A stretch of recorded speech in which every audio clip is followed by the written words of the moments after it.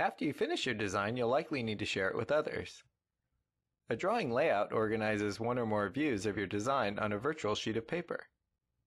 A layout usually contains a title block, one or more viewports, and annotation. Let's take a look at the steps for creating a layout.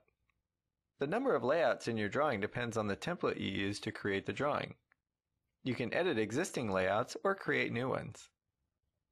I'll create a new layout by clicking the layout list on the status bar and choosing Create New Layout. All new layouts include a default page setup and viewport. The viewport controls which area of the design to show and at which scale.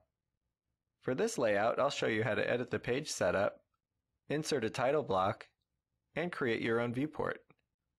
I'll start by erasing the default viewport. I use the Page Setup Manager to change the output device and paper size for the layout. Now I'm ready to insert my title block. First I'll set the title block layer current and use the insert command to insert my title block. Next, I'll define a viewport to display my design.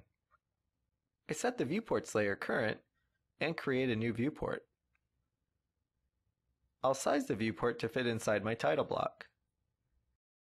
I can select my viewport to change the scale at which my design is displayed. Then choose an appropriate scale from the list of predefined options. Once my layout is ready, I'll click Print Layout from the Layout visor. Show Details allows access to additional settings. I'll accept the default settings and choose PDF, then Preview. Finally, I'll close the Preview window and click Print to send my layout to the printer.